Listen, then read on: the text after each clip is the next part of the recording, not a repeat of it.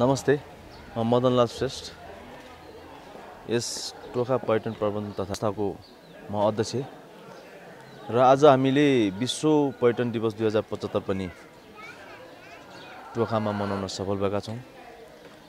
यसको मेन उद्देश्य र यो संस्थाको मेन उद्देश्य भनेको भोलि हामीले टोखालाई सांस्कृतिक सम्पदा मात्र नभनिकन विश्व पर्यटन र विश्व सम्पदाले नै हेर्ने हेतुले र टोखालाई पनि पर्यटन विकास गर्ने हेतुले आज हामीले पर्यटन दिवस मनायौँ र यो संस्थाको पनि उद्देश्य पनि यही हो।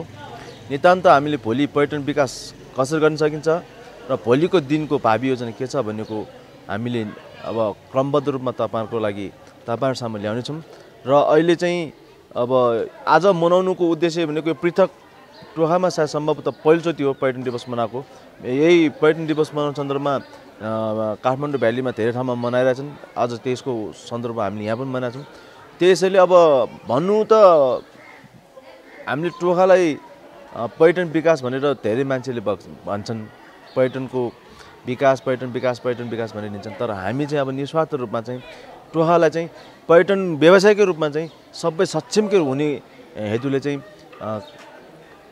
यो संस्था चाहिँ भएको स्थापना भएको तपाईँलाई जानकारी गराउँछु।